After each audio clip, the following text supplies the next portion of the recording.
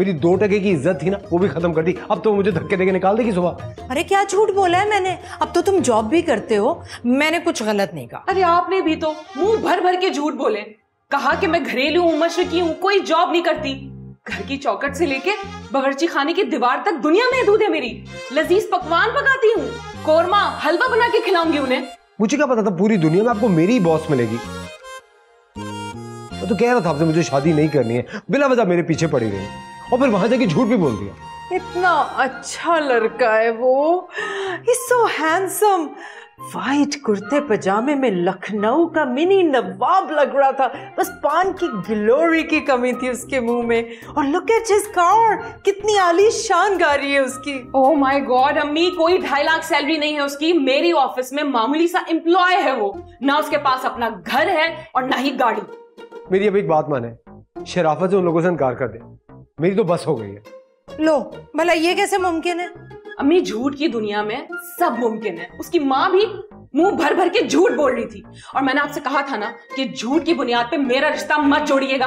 अरे बेटा ऐसे रिश्तों में छोटे मोटे झूठ तो चलते हैं। मम्मी मुझे कोई बहस नहीं करनी है आपसे आप प्लीज़ उन्हें इनकार कर दो। अरे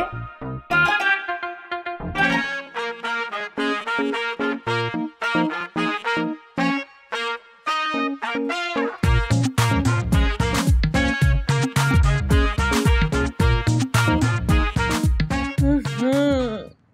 क्या अजीब और गरीब क्रीम्स बनाती रहती हैं आप? इतनी स्मेल आ रही है इसमें से।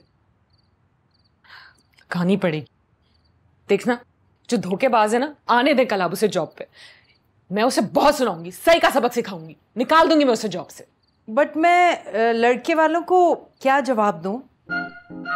ये भी कोई पूछने वाला सवाल है। इनकार करें आप।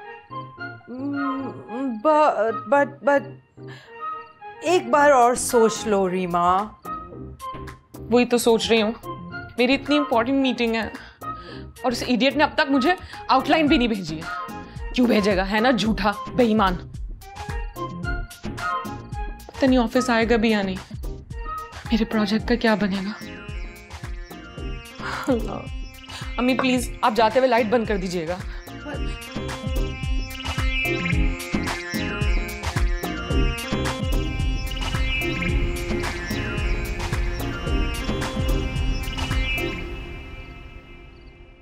हम्म।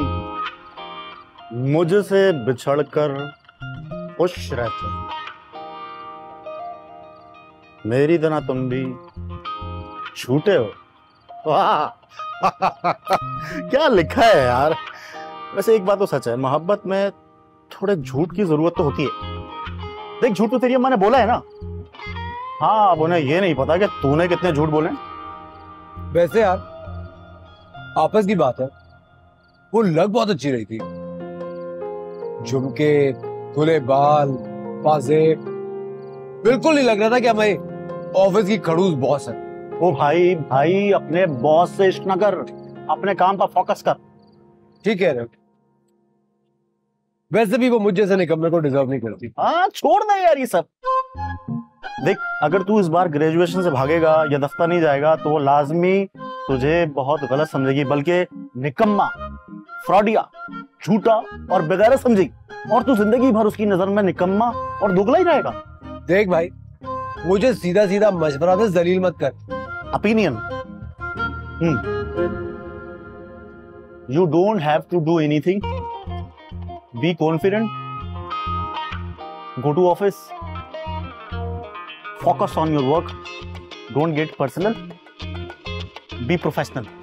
Focus सिर्फ़ और सिर्फ़ काम पर तवज्जो दीजिए तू बाइक पे है रिक्शे पे पैदल चले डबल सवारी